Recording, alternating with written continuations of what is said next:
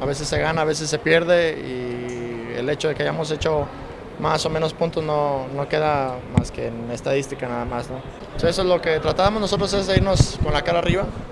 con la vista al frente, eh, tratando de irnos con la mayor cantidad de puntos posibles,